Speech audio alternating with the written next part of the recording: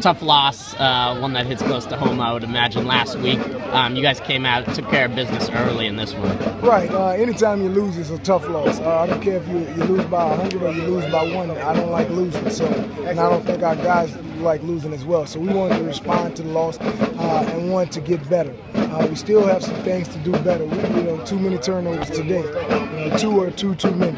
So that you know, we're looking to correct those things. We want to go through games penalty free and and uh, turnover free. So um, that's what we're always looking to get better. We're not just satisfied. We're just you know um, just winning. We want to win the right way. You guys were pretty methodical on offense early on. You were taking uh, dink and dunk a little bit, then short runs into the end zone. Um, one big play, but uh, mostly a lot of short plays. Right. We just wanted to make sure we got better. Um, that was one of the keys that we talked talk about throughout the week, just making sure we got better.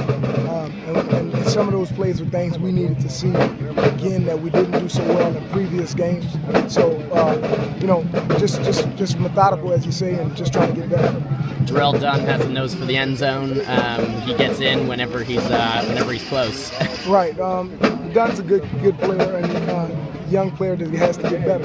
If we're going to be successful, our young players have to play better. Uh, and they're doing a good job. I just like to squeeze the juice out of a grape, as we say.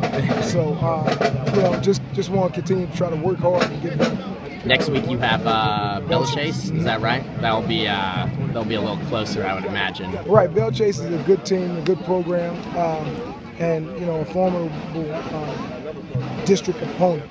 So uh, it's a big time district game and one of the, the, the toughest districts in the state. Uh, I guess the SEC West, they sort of, yeah. sort of speak. Um, so we want to get better and want to get a district win, but mainly it's the most important game because it's the next game.